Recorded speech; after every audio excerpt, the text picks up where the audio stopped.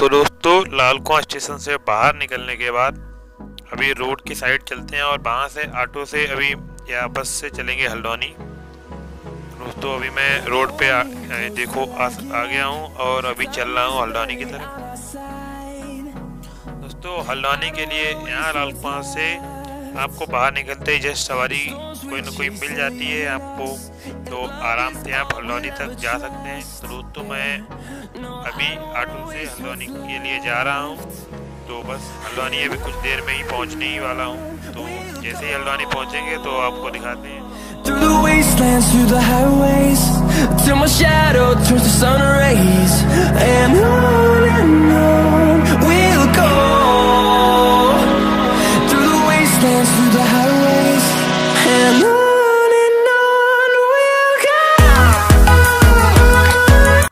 दोस्तों, मैं अभी आ गया हूँ हल्द्वानी में और अभी चलते हैं और फिर आपको दिखाते हैं यहाँ पर।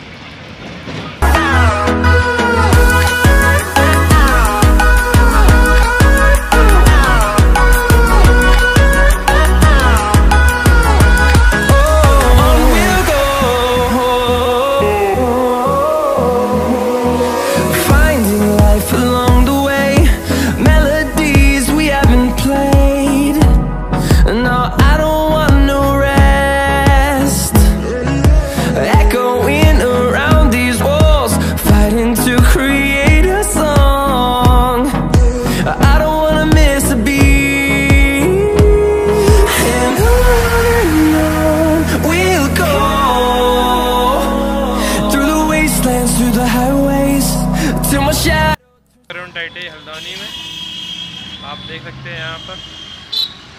गवर्नमेंट आई हल्द्वानी का। चलते हैं अंदर और देखते हैं।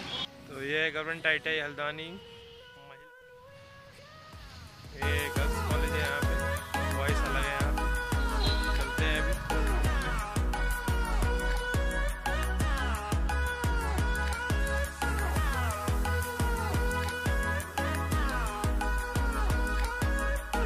Haldwani I का नज़ारा यहाँ पर। कितनी बड़ी संख्या में बेरोजगार। यहाँ की बेरोजगारी? तो दोस्तों, ये है हल्द्वानी का बॉयज़ कॉलेज ग्राउंड जहाँ मैं अभी पहुँच चुका हूँ। हमारे पीछे देखो, खड़े हुए हैं। आप देख सकते हैं यहाँ पे। दोस्तों, यहाँ पर इतनी बड़ी संख्या में भीड़ है ना, बहुत ही ज़्यादा भीड़ है।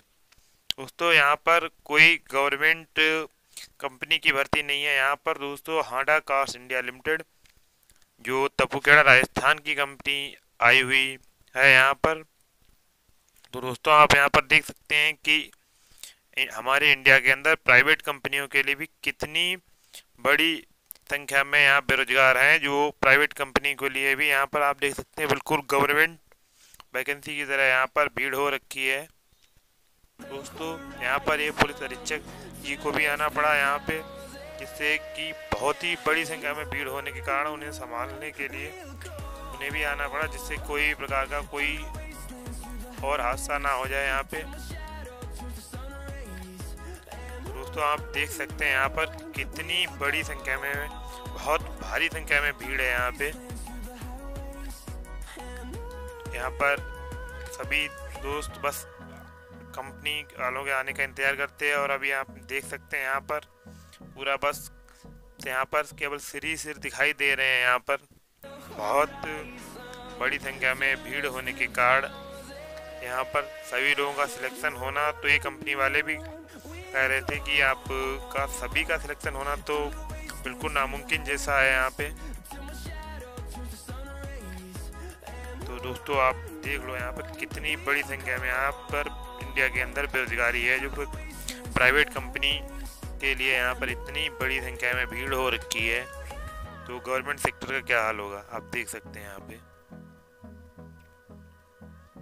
दोस्तों, यहाँ पर ये कुछ अधीक्षक सर समझाते हुए यहाँ पर वॉइस सही से रिकॉर्ड नहीं हो पा रही थी तो मैंने वॉइस को रिकॉर्ड नहीं म्यूट कर दिया है उसे।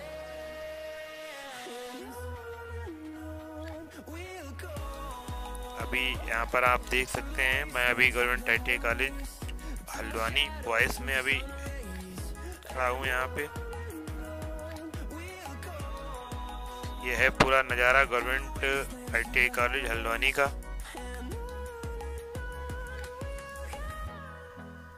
तो अभी आप देख सकते हैं यहाँ पर कंपनी वाल, वाले आ चुके हैं यहाँ पर और कंपनी वालों ने सभी लड़कों को लाइन से बैठा दिया है। तो दोस्तों, आप देख सकते हैं पूरी वीडियो देखने के लिए आपका